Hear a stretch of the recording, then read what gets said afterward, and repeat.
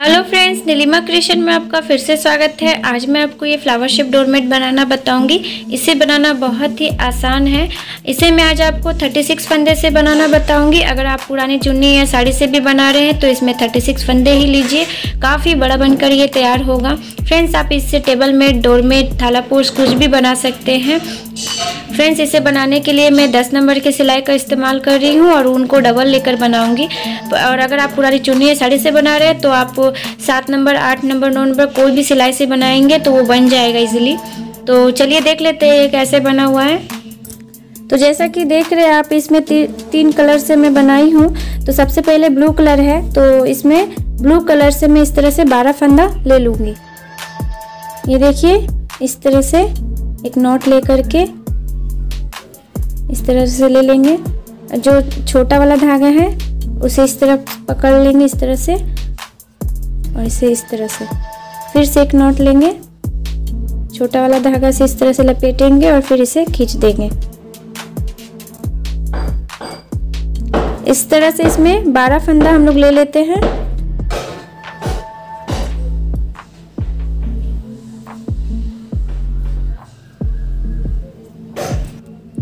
अब इसी तरह से ये पीले रंग के धागे से भी बारह फंदा ले लेते हैं।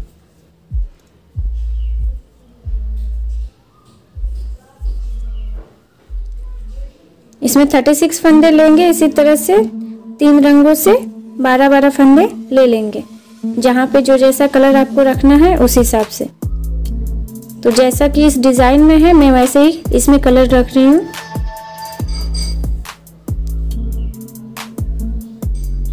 इसी तरह से फंदे ले लेते हैं सारे। तो देखिए फ्रेंड्स, इसमें 36 फंदे ले लिए हैं। 12-12 फंदे करके इसे तीन हिस्सों में बांट लिए हैं। अब देखिए जैसा डिज़ाइन में किया गया है। इसकी शुरुआत यहाँ से हुई है और यहाँ से फिर फंदे बढ़े हुए हैं। तो इसी तरह से इसमें भी हम लोग बढ़ाएँगे। तो देखिए जो पहला फंदा है, उस फंदे को दो बार बिन करके यहाँ पे हम लोग फंदा बढ़ाएँगे। इस तरह से।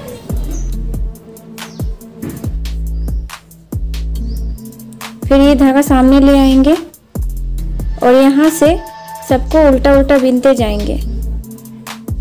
ये जिस तरफ़ हम लोग ये बिन रहे हैं, ये वाला साइड इसका उल्टा साइड बनेगा और ये इसका सीधा साइड बनेगा। तो जहाँ पे जो जैसा कलर है वैसे बिन लेते हैं। अभी यहाँ पे, यहाँ तक बिनते हैं पर्पल कलर से।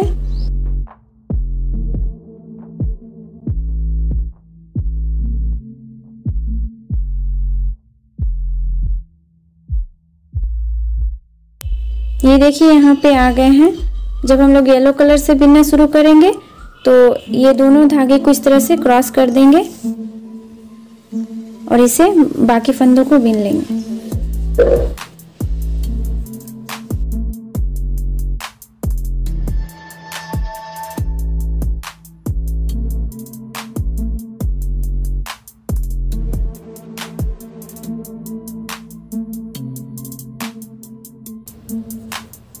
ये देखिए आ गया अब ये तीसरा कलर भी इसी तरह से क्रॉस करके जोड़ लेंगे।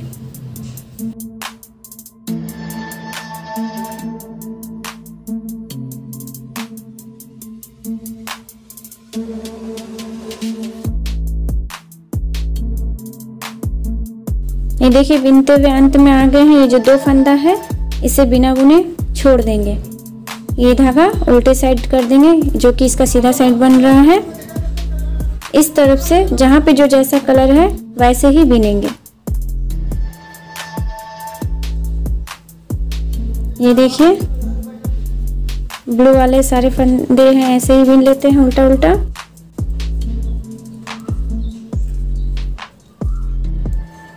ये देखिए, ये येलो वाले धागे बिनने हैं तो क्या करेंगे, ये जो ब्लू वाला धागा है, इसको उल्टे साइड कर देंगे। और इसे अच्छे से खींच लेंगे और इसे यहाँ पे फिर क्रॉस करके ये ले आएँगे सामने की साइड और फिर यहाँ पे इस तरह से बिनेंगे। यहाँ पे इसी तरह से धागे को सीधी साइड से, इसी तरह से धागे को उल्टे साइड में ले जाके क्रॉस करा के फिर से सामने आके इस तरह से बिनना है। अगर आप दोनों धागा इस तरफ़ ला करके बिनेंगे तो यहाँ इसकी फिनिशिंग नहीं आएगी और ये उल्टा उल्टा दिखेगा बनाने से। अब इसी तरह से इसमें भी ऐसे ही कर देंगे, उल्टे साइड में ले जा करके धागा क्रॉस करा के फिर इन बाकी फंदों को बीन लेंगे। इसे उल्टा उल्टा बीनते हुए यहाँ तक बीन लेते हैं।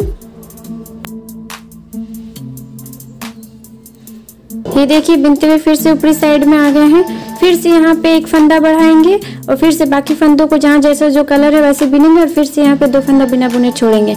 इसी तरह से जैसे ये एक लाइन बना है और इसी तरह से पाँच लाइन बनाना है, यानी कि यहाँ पे पाँच फंदा और बढ़ाना है। और इधर में दो दो फंदा करके ये जो फंदे छोड़ रहे हैं, इसी तरह से बारह फंदे तक छोड़ जाएँगे। इतना कर लेते हैं और उसके आगे बताते हैं कि कैसे करना है। देखिए, बढ़ाते हुए यहाँ पे अभी पाँच फंदा बढ़ा चुके हैं। इस तरह से यहाँ पे पाँच लाइन बना हुआ है। देखिए, एक, दो, तीन, चार, पाँच। और इधर से अभी ये दस फंदे तक छोड़ दिए जो लास्ट का दो फंदा ब्लू वाला बचा है, वो इस लाइन में छोड़ेंगे। ये आखिरी का छठा फंदा हम लोग यहाँ पे बढ़ा लेते हैं। ये देखिए, इस तरह से इस फंदे को फिर से जिस तरह पहले बनाए थे दो बार बिन लेंगे। यहाँ पे एक फंदा ये बढ़ा लेंगे। और फिर से जहाँ पे जो जैसा कलर है, वैसे ही बिन देंगे। फिर से अंत में जाके ये जो दो फंदा ब्लू का बच्चा है, उन्हें ही छोड़ना है। तो यहीं से येलो वाला बना करके यहीं से मुड़ना है। तो यहाँ तक कर लेते हैं इसे।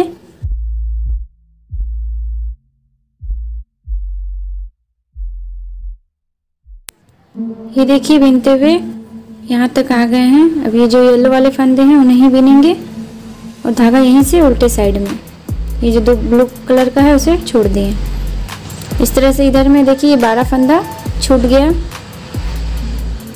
अब यहाँ पे ये जो येलो वाला ही फंदा बिनना है तो एक बार सिर्फ़ यहाँ पे इस तरह से इसे क्रॉस करके, अच्छे से इसे धागे को खींच लेंगे और यहाँ से येलो वाले फंदे बिन करके, एकदम ऊपर तक इसी तरह से जहाँ पे जो जैसा कलर है बिन लेते हैं यहाँ तक।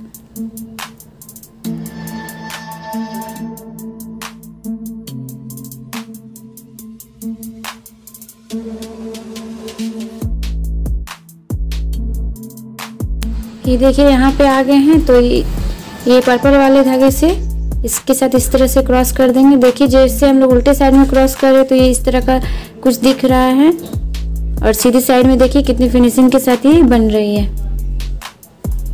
इसीलिए मैं बोली कि धागा को उल्टे साइड में ले करके ही क्रॉस करिएगा। इसे बिनते हुए अंत तक कर लेते हैं।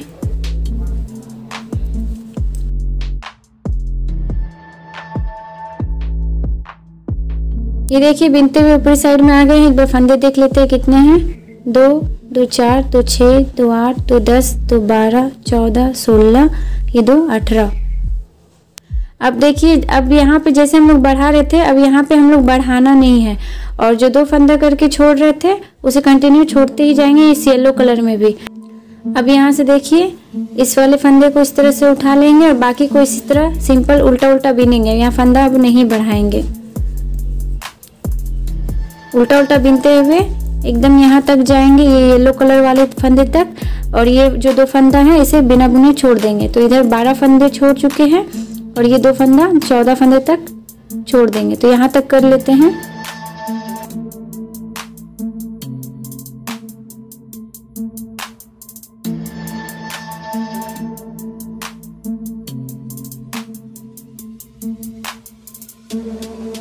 ये देखिए, बिनते हुए यहाँ पे आ गए हैं। अब येलो कलर में से ही ये दो फंदा बिना बुने छोड़ देते हैं। धागा उल्टे साइड उल्टे साइड में जहाँ पे जो जैसा कलर है, वैसे ही बिनते हुए एकदम यहाँ तक बिन लेते हैं।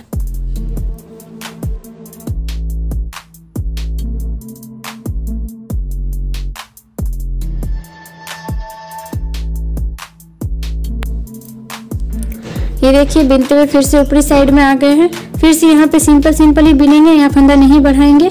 और इधर में फिर से जाके ये दो फंदा बिना बुने छोड़ेंगे। जैसे ये वाला लाइन सिंपल बनाया है, वैसे ही यहाँ पे और पाँच लाइन बनाएँगे जिसमें फंदा नहीं बढ़ाना है, नहीं घटाना है, कुछ भी नहीं करना है। सिर्फ़ ऐसे ही बिन देना है। और इधर में जो येलो वाले है, इसी तरह से दो दो फंदा करके यहाँ तक छोड़ लेना है। इतना कर लेते हैं इसके आगे बताते हैं आगे कैसे करना है।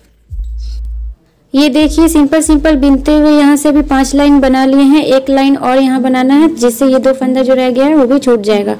तो देखिए, जिस तरह यहाँ पे हम लोग नहीं बढ़ा रहे जिसकी वजह से इस तरह से राउंड शेप में आए हैं, जैसे ये डिज़ाइन में है।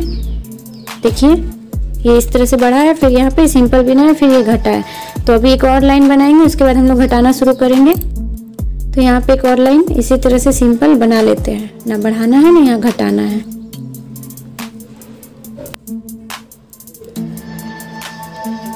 इस तरह से बिनते हुए जाएँगे और ये जो दो फंदा रह गया है, उसे छोड़ देंगे। तो यहाँ तक ही बिनेंगे।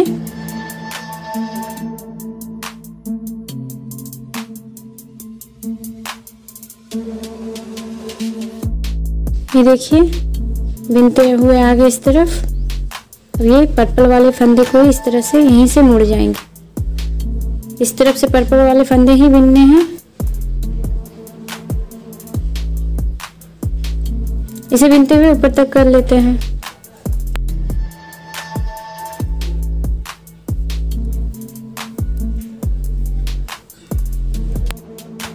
ये देखिए बिनते हुए ऊपरी साइड में आ गए। अब यहाँ पे देखिए, ये छह लाइन ये कंप्लीट हो गया है बिना बढ़ाए हुए।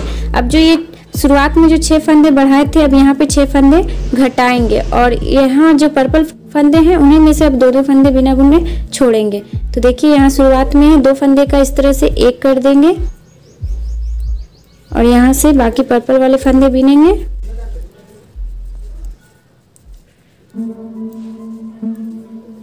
और अंत में जाके ये दो फंदे बिना बुने छोड़ेंगे। यहाँ तक कर लेते हैं। ये देखिए, यहाँ पर आए हैं, ये दो फंदे छोड़ देते हैं। उल्टे साइड से बिनते हुए ऊपर तक कर लेते हैं।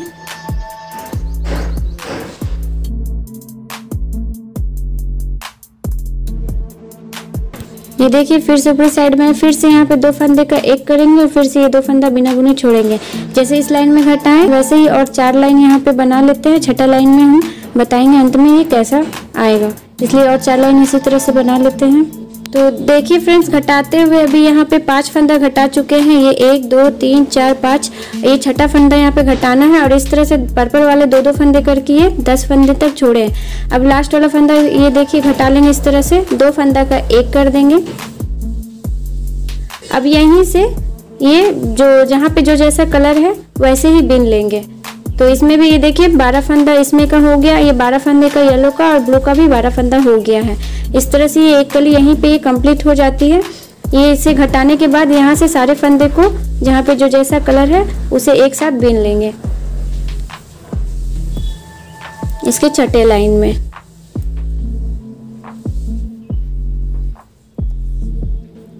इसे एकदम यहाँ तक बीन लेते हैं। ये देखिए, बिनते हुए यहाँ अंत में आ गए हैं। इसे भी बिन लेते हैं एक लास्ट को। और फिर से बाकी सबको यहाँ से बिनते हुए एकदम ऊपर तक कर लेते हैं।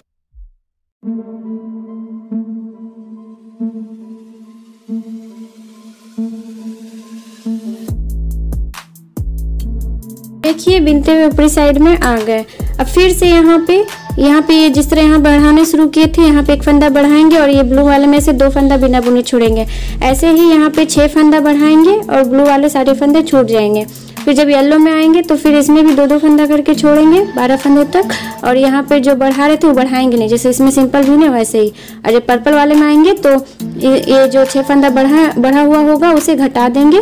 और इसमें से दो दो फंदा करके छोड़ेंगे। लास्ट वाला फंदा जब घटाएँगे तो एक लाइन इस तरह से इसे बिन लेंगे। इसी तरह से इसकी सारी कली कंप्लीट कर लेंगे।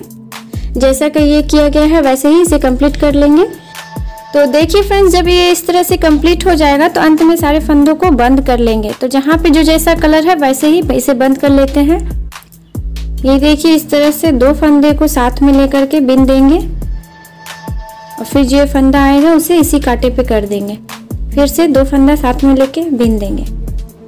इस तरह से सारे ही को ही बंद कर लेंगे। जहाँ पे जो जैसा कलर है, वैसे ही बंद करेंगे।